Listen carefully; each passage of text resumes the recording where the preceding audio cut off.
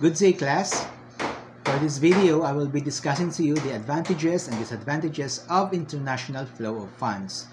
So the previous video, na-discuss natin what is international flow of funds. Na-determine natin yung uh, iba't ibang uh, types of international flow of funds. Okay? What does it do to the economy? And ano yung uh, iba't ibang uh, factors na involved para magkaroon ng exchange of transaction when it comes to international flow of funds. Okay, in this video, I will be discussing to you naman the advantages and disadvantages. Okay, one advantage dyan is it increase the aggregate demand. Di ba sabi nga natin, ano, because of international uh, multinational company, di ba, one, one, one factor that is involved dito sa exchange of flow of funds when it comes to international setting is or are these multinational companies. Sila yung nagdadala dito sa atin ng exchange of ano flow of funds between their country and our country. No, because of these multinational companies na nag-ooperate na sa iba't ibang panig ng mundo ay syempre ang naging resulta nun is gumanda yung uh, trading system when it comes to um, commodities, products. In the in that ano in that case ay it somehow help to increase the demand of the consumer kasi mas dumami yung choices nila, more products, more choices, more opportunity para bumili sila. Thus resulting to increase in demand. Okay? Next one is production capacity. Siyempre, nag-increase yung demand, So it has to be matched with increase in production also, no? So nakatulong din siya sa paglago uh, ng ekonomiya or sa sa pagpo-produce ng maramihan kasi nga uh, these multinational companies bring in so much ano, so much opportunity not just sa mga consumers but rather on the employment sector. Okay? So ito ay nakakatulong sa malakihang production, uh, production or production ng mga commodities, ng mga produkto na dala ng mga multinational companies na to. Technological advancement. One advantage also. Okay? So, syempre, because of this technologies na na-introduce sa atin ng mga iba't ibang uh, uh, coming from different countries na dala ng mga multinational company na to ay di somehow ay nakatulong dito sa atin. Na-adapt na rin natin siya. Okay? When it comes to this technological advancement gaya, gaya halimbawa di ba cellphone? Okay? These cellphones are originally from other countries like the iPhone or the Samsung. Hindi naman siya gawa dito sa Philippines. Or siguro meron din dito but parts of it or bits of it are being done here sa Philippines but hindi lang sa Philippines kundi may iba may iba't iba pang bansa na pinanggagalingan yung mga um, ano na to mga parts ng uh, isang cellphone. And thus contributing to the final output ng isang cellphone na dinadala ngayon dito sa bansa natin.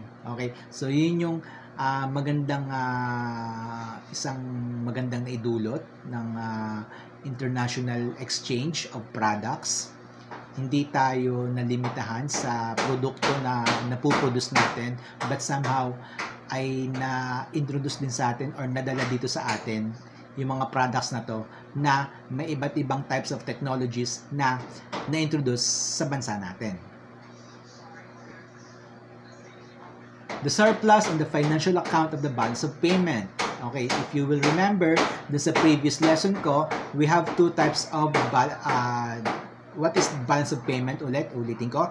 Balance of payment is the total accumulation of ano of uh, income when it comes to import and export ng mga public and private sectors or companies. Ano, ito yung total accumulation of that ano of the total income kumbaga when it comes to export and, and import. And we have two types of balance of payment, 'di ba? If you remember, we have surplus balance of payments, and the deficit balance of payment.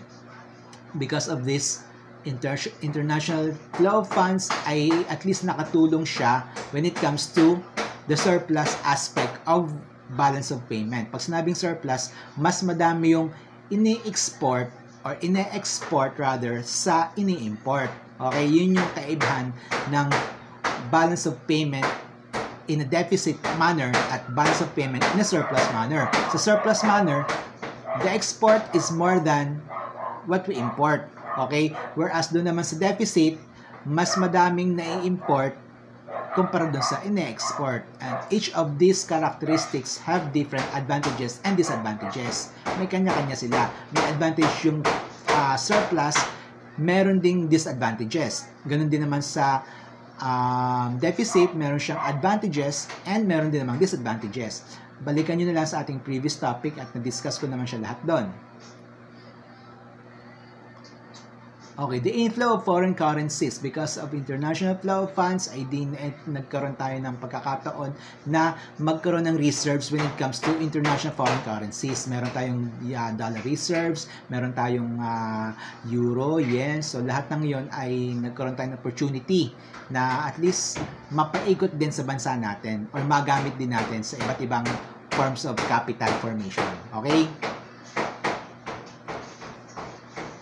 So, na-discuss natin yung disadvantages. Siyempre, meron din siyang, ah, na-discuss natin yung advantages. Siyempre, meron din siyang disadvantages. Ano naman yung disadvantages ng international flow of funds? Tingnan natin.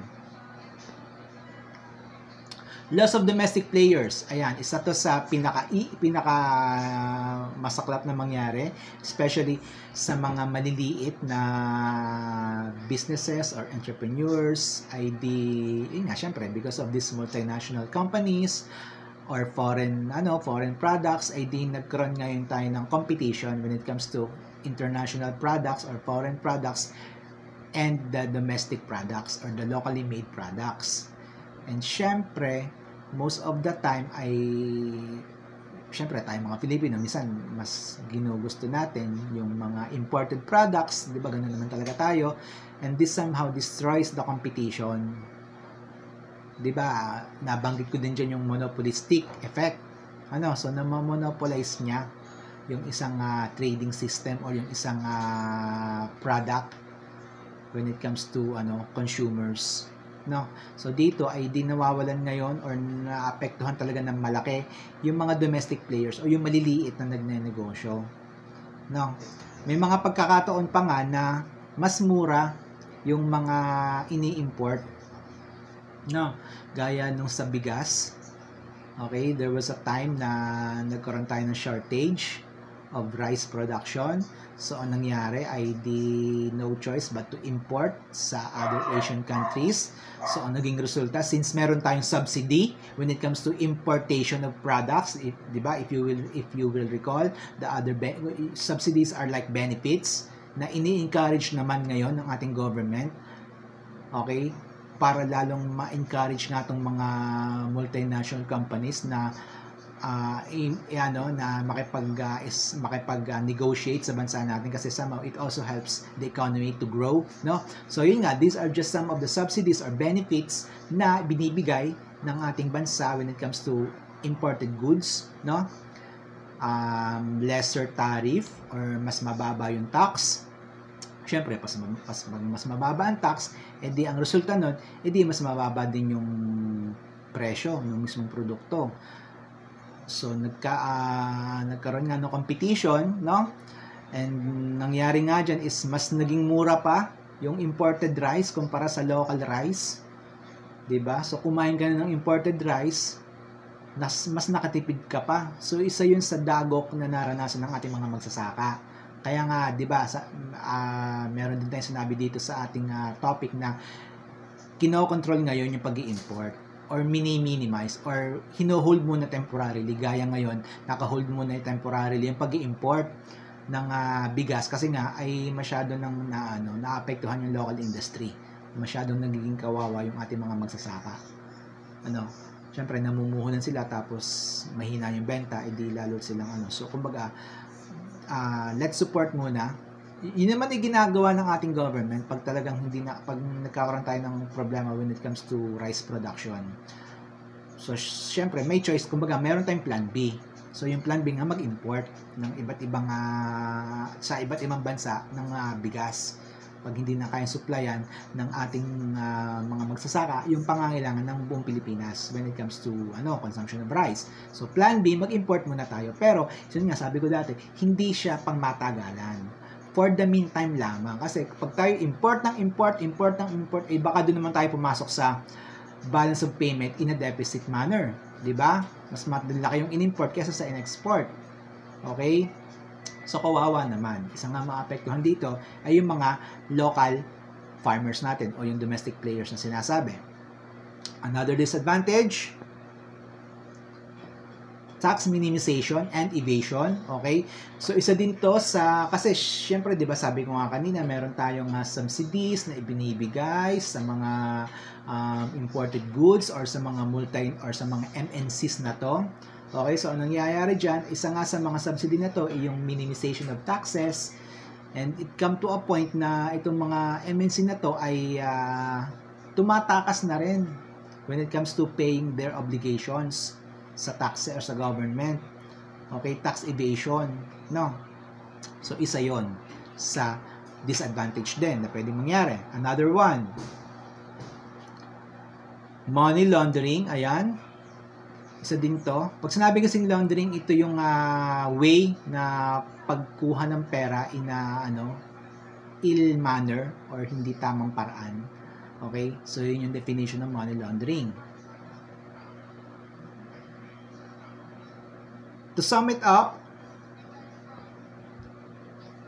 The international flow of funds takes place when the transactions of buying and selling take place between the international market by means of international business that is exported and imported from one country to another. Ito ay uh, summary ng ating uh, topic. The balance of payment shows the value of all transactions that took place between the domestic and the foreign residents in a specific period of time. The international flow of funds assists the countries to make themselves technologically advanced and help them to promote trade between them and the developed countries, which is helpful for the customers as they will be able to have a more variety of products and service from all the service providers in all over the world. And last one, Overall, the international flow of funds is good in most of the aspects for the development of a country and the world economy. So generally speaking naman, okay, after presenting the disadvantage, after presenting the advantages and disadvantages, generally ay mas lamang naman yung advantages. Sabi nga dito sa ating uh, lesson or sa ating module, overall, the international flow of funds is good in most of the aspects. So mas malaki. Although may disadvantage din, ano, pero kung titingnan natin, kung titingnan natin, kumbaga, kumbaga sa tao from head to toe, kung titingnan natin siya, ay mas maganda yung naging epekto.